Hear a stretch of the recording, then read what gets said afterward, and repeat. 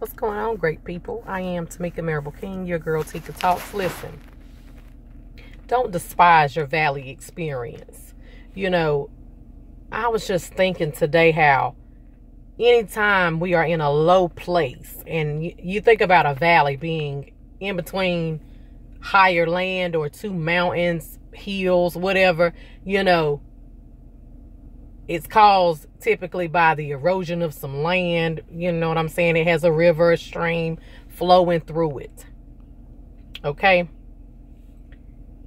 And I thought to myself, God, I need not despise my valley experiences because you already know there are higher heights on the other side of the valley.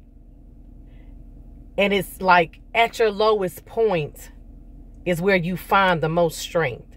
It's it's really, you know, you think of an offensive lineman in football, they go low when they get ready to run the play because that's where they get their leverage.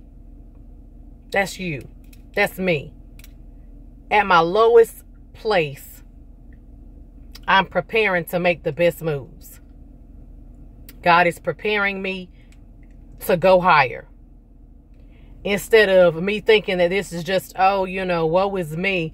I don't know why I have to be in this low place or why these experiences keep being my life. No, God, thank you that you have decided that it is my time to be here because the next step is going to be a promotion. It's going to be an elevation. It's going to be, you know, we're going to be catapulted to a higher dimension. Your greater is right now. So you can stop moping, whining, complaining, you know, trying to figure out how much longer do I have to be in this position. You just simply prepare to soar because that's what you're about to do. I don't even understand, you know, why we think we should be up all the time because the truth is when we are experiencing those low points, that's when we seek God the most.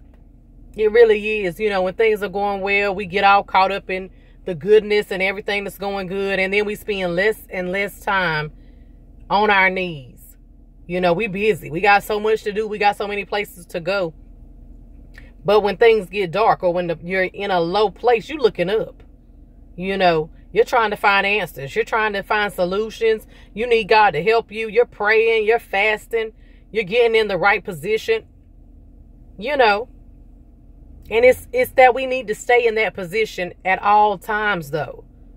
So even when God takes us higher, we still remember him. We understand where our help comes from and then we focus on him and we don't make the mistake of pretending he's not the reason why we're out of the place we were just in. So, you know, I have to give God thanks for my valley experiences just as well as when I'm standing on a mountaintop.